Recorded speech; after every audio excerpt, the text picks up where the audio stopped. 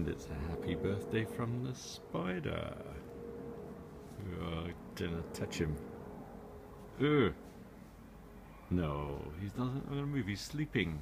Anyway, he's saying happy birthday to you.